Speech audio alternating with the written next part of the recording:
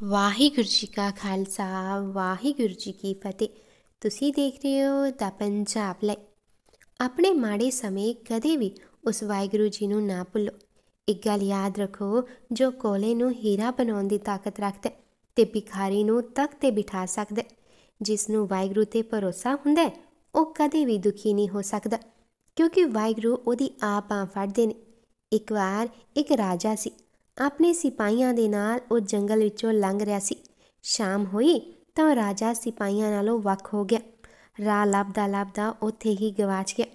ਥੋੜੀ ਅੱਗੇ ਜਾਂਦਾ ਹੈ ਤੇ ਦੇਖਦਾ ਕਿ ਅੱਗੇ ਹੈ ਕੀ।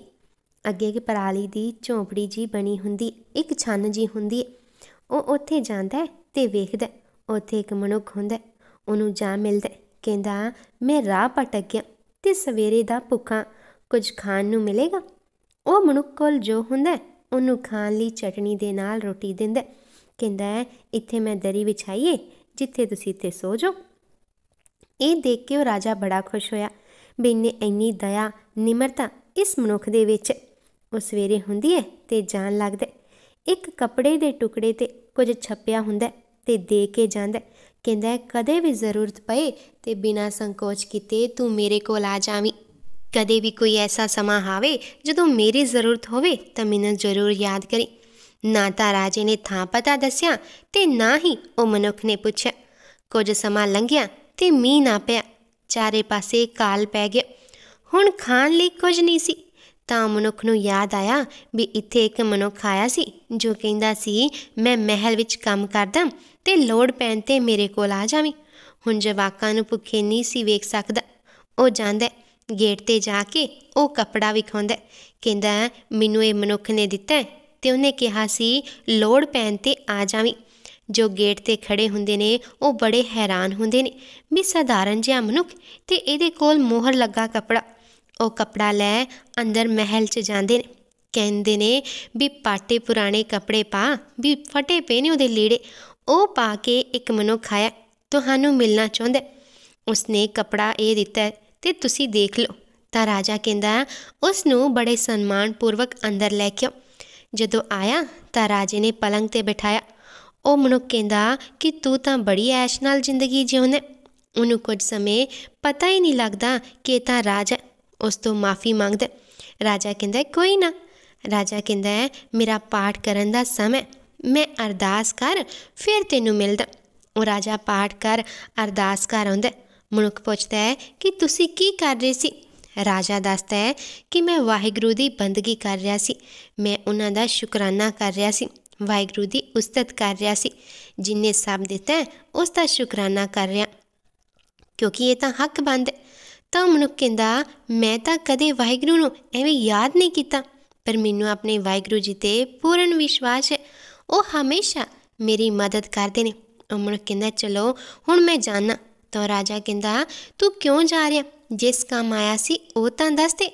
ਉਹ ਮਨੁੱਖ ਕਹਿੰਦਾ, ਜਵਾਕ ਭੁੱਖੇ ਸਨ ਘਰ, ਤਾਂ ਆਇਆ ਸੀ, ਪਰ ਤੂੰ ਤਾਂ ਆਪ ਵਾਹਿਗੁਰੂ ਤੋਂ ਮੰਗ ਰਿਹਾ। ਫਿਰ ਮੈਂ ਤੇਰੇ ਤੋਂ ਕਿਉਂ ਮੰਗਾ? ਮੈਂ ਸਿੱਧਾ ਵਾਹਿਗੁਰੂ ਤੋਂ ਹੀ ਮੰਗ ਲਵਾਂਗਾ। ਤਾਂ ਰਾਜਾ ਕਹਿੰਦਾ ਹੈ ਜਵਾਕ ਭੁੱਖੇ ਨੇ, ਤਾਂ ਆਟਾ ਦਾਲ ਤਾਂ ਲੈ ਜਾ। ਪਰ ਉਹ ਮਨੁੱਖ ਨਾ ਮੰਨਿਆ, ਉੱਥੋਂ ਚੱਲਦਾ ਬਣਿਆ। ਘਰ ਜਾਂਦਾ, ਜਵਾਕ ਕਹਿੰਦੇ ਨੇ ਵੀ, ਖਾਲੀ ਕਿਉਂ ਆਇਆ? ਤਾਂ ਉਹ ਕਹਿੰਦਾ ਰਾਜਾ ਤਾਂ ਆਪ ਵਾਹਿਗੁਰੂ ਤੋਂ ਮੰਗਦਾ ਆਪਾਂ ਉਸ ਤੋਂ ਕਿਉਂ ਮੰਗੀਏ ਵਾਹਿਗੁਰੂ ਤੇ ਵਿਸ਼ਵਾਸ ਰੱਖ ਉਹ ਆਪੇ ਦੇਵੇਗਾ ਕੁਝ ਸਮਾਂ ਲੰਘਿਆ ਤੇ ਨਾਲ ਦੀ ਨਹਿਰ ਵਿੱਚ ਪਾਣੀ ਆਉਣਾ ਸ਼ੁਰੂ ਹੋ ਗਿਆ ਉਹ ਮਨੁੱਖ ਉਥੋਂ ਪਾਣੀ ਲਿਆ ਕੇ ਆਪਣੇ ਖੇਤਾਂ ਨੂੰ ਲਾਉਣ ਦੀ ਤਿਆਰੀ ਕਰ ਰਿਹਾ ਸੀ ਉਹ ਕੀ ਦੇਖਦਾ ਹੈ ਵੀ ਇੱਕ ਘੜਾ ਪਾਣੀ ਦੇ ਉੱਪਰ ਚੱਪਣੀ ਸੀ ਜਦੋਂ ਘੜਾ ਦੇਖਦਾ ਤਾਂ ਸੋਨਾ ਹੀ ਸੋਨਾ ਹੁੰਦਾ ਪਰ ਉਹਨੂੰ ਲੱਗਦਾ ਹੈ ਵੀ ਕਿਸੇ ਦੇ ਰੁੜ ਕੇ ਆਏ ਨੇ ਮੈਂ ਨਹੀਂ ਲੈ ਸਕਦਾ। ਵਾਹਿਗੁਰੂ ਮੈਨੂੰ ਦੇਣਾ ਹੋਇਆ ਤਾਂ ਮੇਰੇ ਘਰ ਤੱਕ ਇਹ ਆਪ ਪਹੁੰਚਾ ਦੇਣਗੇ। ਜਦੋਂ ਸ਼ਾਮ ਹੁੰਦੀ ਹੈ ਤਾਂ ਆਪਣੀ ਘਰਵਾਲੀ ਨੂੰ ਸਾਰੀ ਗੱਲ ਦੱਸਦਾ ਹੈ ਵੀ ਨਹਿਰ ਤੇ ਪਾਣੀ ਲਾਣ ਦਿਆ ਸੀ। ਜਦੋਂ ਪਾਣੀ ਲਾਉਂਦਿਆ ਸੀ, ਘੜਾ ਤਰ ਕੇ ਆਇਆ। ਚਪਣੀ ਮੜੀ ਜੀ ਘੜੇ ਤੋਂ ਪਾਸੇ ਹੋਈ ਤੇ ਵਿੱਚ ਸੋਨਾ ਨਾ ਲਿਸ਼ਕਦਾ ਪਿਆ ਸੀ।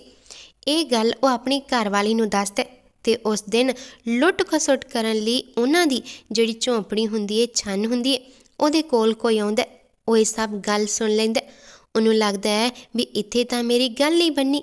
ਇਹਨਾਂ ਕੋਲ ਹੈ ਕੀ ਜੋ ਮੈਂ ਲੁੱਟਾਂਗਾ?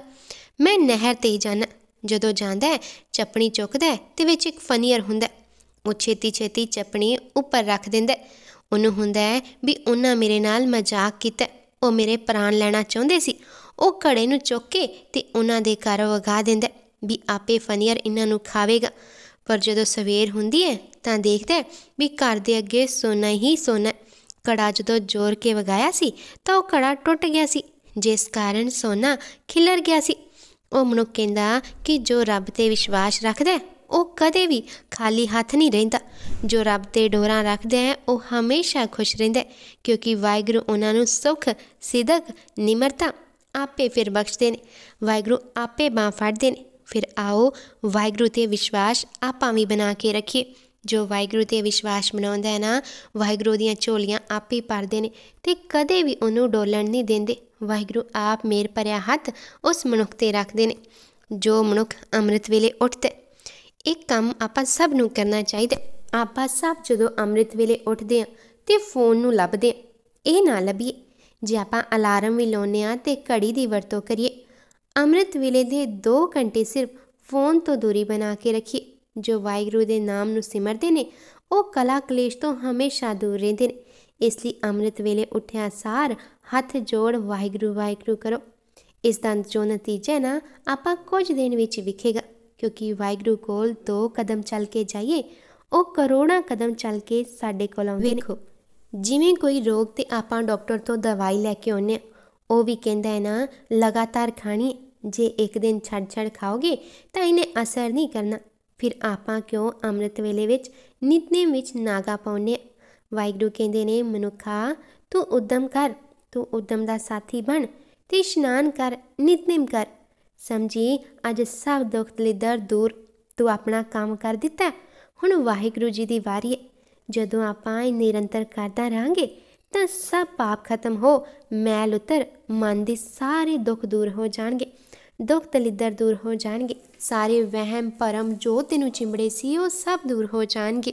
ਬਸ ਤੂੰ ਸਵੇਰ ਦਾ ਸਮਾਂ ਉਸ ਵਾਹਿਗੁਰੂ ਨੂੰ ਦੇ ਤੇ ਫੋਨ ਤੋਂ ਖੇੜਾ ਛੁੜਾ ਅੰਮ੍ਰਿਤ ਵੇਲੇ ਬਸ ਦੂਰੀ ਬਣਾ। 15 ਮਿੰਟ ਖੁੱਲੀ ਥਾਂ ਤੇ ਜਾ ਕੇ ਮੂਲ ਮੰਤਰ ਦਾ ਜਾਪ ਕਰ, ਜਿਸ ਨਾਲ ਸਰੀਰ ਵੀ ਨਿਰੋਗ ਰਹੇਗਾ। ਫਿਰ ਗੁਰਬਾਣੀ ਦੇ ਲੜ ਕਿਉਂ ਨਹੀਂ ਲੱਗਦੇ? ਇਹ ਆਪਾਂ ਨੂੰ ਵੇਖਣ ਨੂੰ ਚੀਜ਼ਾਂ ਛੋਟੀਆਂ-ਛੋਟੀਆਂ ਲੱਗਦੀਆਂ ਨੇ। ਪਰ ਇਹ ਚੀਜ਼ਾਂ ਨੇ ਤੁਹਾਡੇ ਘਰ ਇੰਨੀ ਦਾਤ ਬਖਸ਼ ਦੇਣੀ ਹੈ, ਹਰ ਮਨੋਕਾਮਨਾ ਪੂਰੀ ਕਰ ਦੇਣੀ ਹੈ, ਜਿਸ ਦੀ ਤੁਸੀਂ ਆਸ ਰੱਖਦੇ ਹੋ। ਇਸ ਲਈ ਵਾਹਿਗੁਰੂ ਤੋਂ ਉਮੀਦਾਂ ਰੱਖੋ, ਆਸਾਂ ਰੱਖੋ। ਜੋ ਮਨ ਦੀ ਤਮੰਨਾ ਹੈ, ਗੁਰੂ ਘਰ ਜਾ ਕੇ ਉੱਥੇ ਬੋਲੋ। ਵਾਹਿਗੁਰੂ ਸੁਣਦੇ ਨੇ ਤੇ ਸੁਣਨਗੇ ਵੀ ਤੁਹਾਡੀ। ਕਿਸੇ ਦੇ ਮਨ ਦੀ ਕੋਈ ਐਸੀ ਮੁਰਾਦ ਹੈ ਜੋ ਪੂਰੀ ਨਹੀਂ ਹੋ ਰਹੀ। ਤੇ ਵਾਹਿਗੁਰੂ ਘਰ ਰੋਜ਼ ਜਾਓ।